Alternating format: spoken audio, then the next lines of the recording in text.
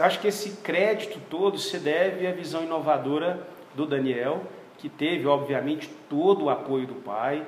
E, então, esse, esse, todo esse caldeirão de ideias e de boa vontade é que culminou é, nesse momento né, que nós estamos vivendo agora.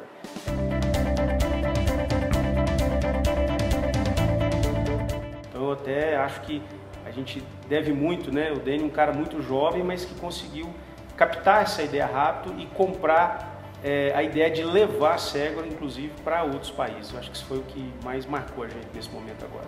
Quando a gente conversou com o Daniel Nilima sobre a possibilidade de investir numa empresa de segurança, é, ele, ele já gostava da ideia.